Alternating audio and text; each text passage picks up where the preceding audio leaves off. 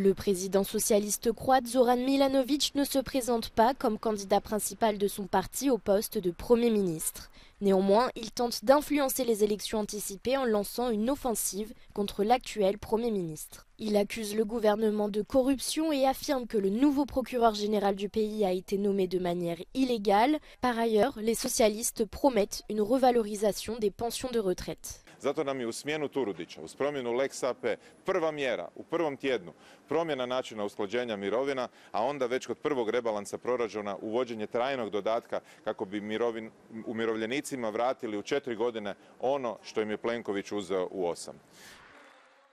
Conservateur, favorable à l'Union européenne, le Premier ministre Andrzej Plenković dirige la Croatie depuis 2016.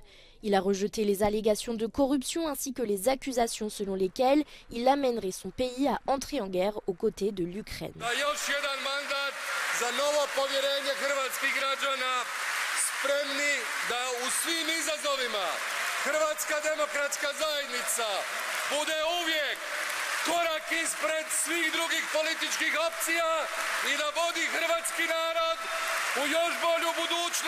Le conflit entre les deux dirigeants remonte au début de la guerre en Ukraine. Jusqu'à présent, les conservateurs sont en tête des sondages à une semaine des élections.